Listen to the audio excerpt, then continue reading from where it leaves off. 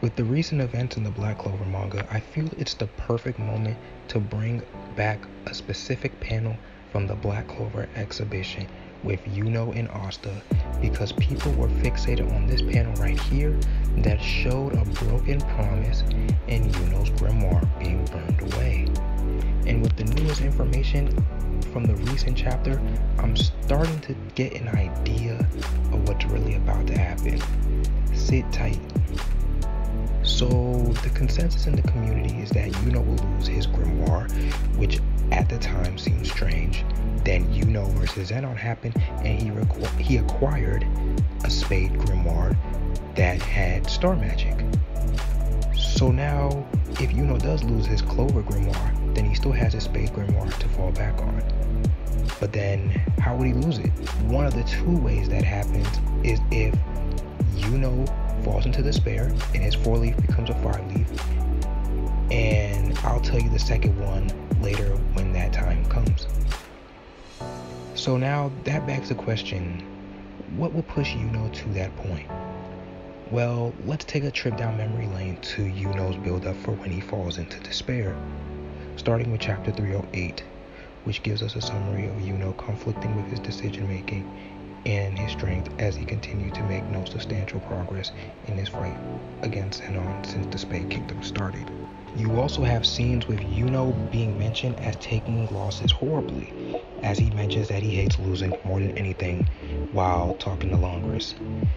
And we've already seen Yuno looking pretty depressed after failing to defeat Zenon the first time around, while also losing his comrade and his captain.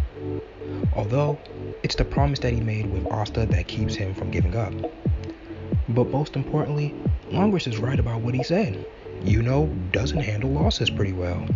So if Yuno does fall into despair in the future, which I believe he will, then it's most likely going to be from a loss, whether it's a loss from his comrades or from being defeated, but who knows, it may most likely be even both. So now, let's ask ourselves, who be responsible for pushing him to that point? He already beat Zenon, so who in the Spade Kingdom could beat Yuno that's left? And push him to despair and the birth of a five leaf and take his five leaf grimoire. Well, before I continue, I want to tell you my second point on how Yuno could lose his grimoire. And that's while it's still a fourth leaf. And that's from Morris. We know that the elf soul within Yuno is still there, and we've seen Morris do things like extract and transplant things like two grimoires together and transplant Lolopechka's wisdom into himself. What if the same will be done for Yuno's elf soul? If that happens, then Morris would now be the owner of his grimoire. So this is a possibility on how Yuno could lose his four-leaf grimoire, but I prefer this one with the five-leaf grimoire that I'm about to tell you right now. Okay, so we've seen a grimoire become a five-leaf in Black Clover, and the mastermind behind it was the same being, the devil. The first instance was Licht after the elf massacre took place, and the second was Patry after learning the truth about the elf massacre, and he started conflicting with what he thought was already true. Both instances were triggered by the high-ranking devil Zagred and his scheme. Now we're at a point in the story where Lucifero may emerge from the second gate, and presumably everybody that defeated the Dark Triad is going to gather in the spot where he's about to emerge from. Yuno will definitely be there as well because that's where, you know, his captain is. And then after that, all the pieces needed for this agenda have been cooking up will be here. So let's begin. If Yuno falls into despair, the mastermind this time around will be Lucifero. But how would he do it? Well, I'm to predict this.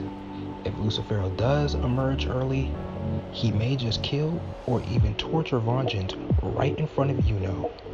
Now, if you read the Berserk manga, then allow me to reference you the Eclipse, when Guts was forced to watch the horrifying scene with Griffith and Casca. If Lucifer wanted to push Yuno into despair, he could pin Yuno down with presence of the Demon King, just like we've seen from Dante pinning Gauche against the wall and impaling him with the sword that he created, which led to Asta's rage. So, Yuno being forced to witness his captain being tortured to his last breath while he's helpless again, I think would be just what he needs to push him to that point where his four leaf becomes a five leaf. And here's just a side thought about Vangeance. His mask always resembled the mask on Femto from Berserk, and if you've seen my recent video, then you know I've been really pushing this Berserk Eclipse agenda, but Black Clover style.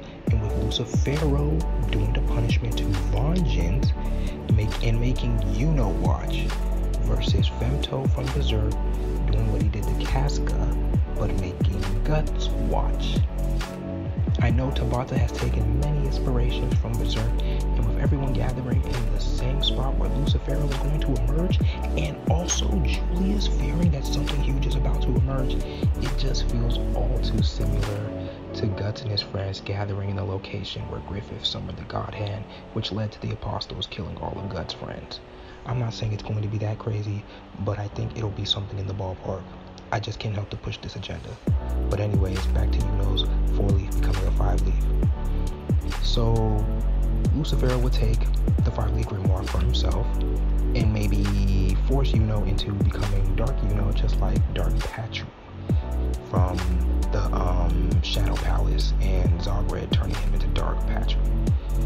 Then we would have Lucifero keeping Yuno around because he needs his star magic to open the gates to heaven. And if you want more information on what I mean by that, then check out this short video I made about Yuno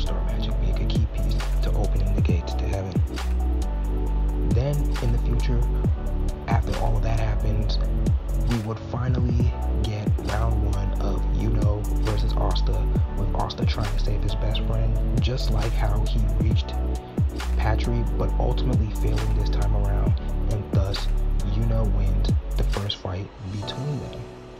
Yuno won't be able to keep his promise to Asta as long as he's Dark Yuno, so the promise is broken until Asta turns him back to normal. Alright, so that's it for me. If we get an Eclipse type massacre, remember me as the one that constantly pushed the agenda to you first. And again, I don't mean to the scale of the Eclipse Massacre, but maybe like a, more watered down version of it. Alright, that's it for me. Peace out.